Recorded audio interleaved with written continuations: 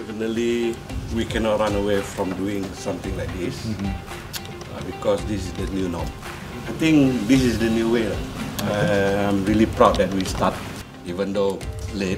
It's okay, kalau late pun, at least we start. I think what we're realizing about some of this virtual technology, I'm finding that our really structured meetings, things like PGR or quarterly HSE meetings, are actually better because you have multiple communication avenues. Like you can have the presenter talking, you've got slides, you've got the chat going on the side, you've got people sticking up their hand to ask questions, and in a lot of ways it's more effective. It was intense, intense it Doesn't smooth, it doesn't um, uh, perfect. But then we nail it. Technical glitch is, is normal. Issue with internet connection is also normal in virtual event. Overall uh, we did great lah it's still okay it's a learning session it's a new norm what we can improve is maybe on understanding MS Team lah and the limitation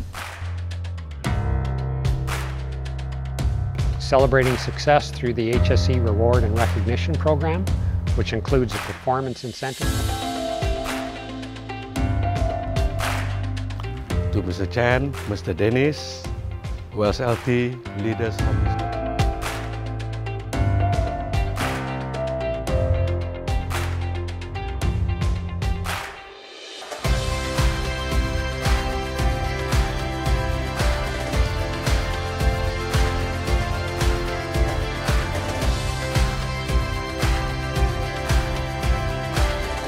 extension. And number two, and more importantly, to foster close- closer relationship between us, uh, the Wells team, and also basically what we wanted you give it to us uh, you cooperate very well. Senang nak sembang nak discuss uh, changes was made even last minute even yang kecil besar pun kita boleh tukar tak ada masalah. Uh, so overall very good lah. Thank you so much